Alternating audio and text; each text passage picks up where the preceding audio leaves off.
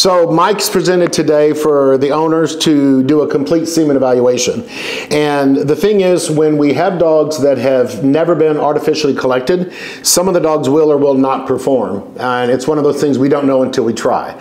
The benefit for Mike, he's a seasoned breeder. He has bred multiple times. Our hope is today, with some stimulation, he'll achieve a good erection and will go through the motion and ejaculate for us.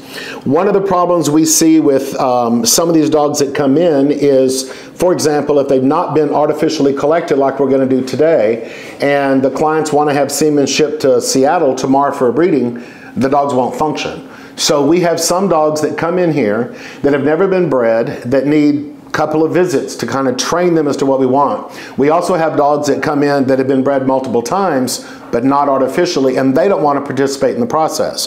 This is called a cell counter, a spermacue. And if you can see really close, this is called a cuvette, and my fingernail will slide into the end of that. There's a little opening. So whoever wants to video this may want to come real close, and I'll put my eyes on again so I can see what I'm doing here. I'm going to again redistribute the sperm and then I'm going to put so much of this and it fills up that little crater. Wipe off the excess fluid. This machine will count the sperm.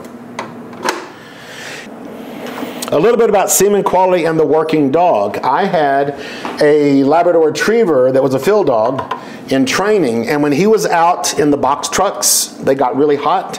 They weren't cleaning those boxes real well. They were using bleach, and the bleach caused irritation to the scrotum. Scrotal dermatitis, inflammation on the outside of the skin, affects what's inside the skin. And when he was training, his semen quality was always subpar. In his off training months, his semen was pretty good. Then we noticed that one time he came in and his semen was totally dead, 100%. And I recommended, they were doing water training, that they monitor his temperature after doing water retrieves. And they would do 20 retrieves and his temperature was 105.5. That fried his testicles, killed everything. Are 14. So the bottom line is there's so many variables. Are you breeding her at the right time? Uh, is the semen good? Where are you putting the semen? And what's her uterine health look like? Because it is possible, I'm going to say that we have two bitches here. Each one ovulates 10 eggs. The semen is great, the breeding technique is great, the timing is perfect. Now, we inseminated both bitches. This one got all 10 eggs fertilized.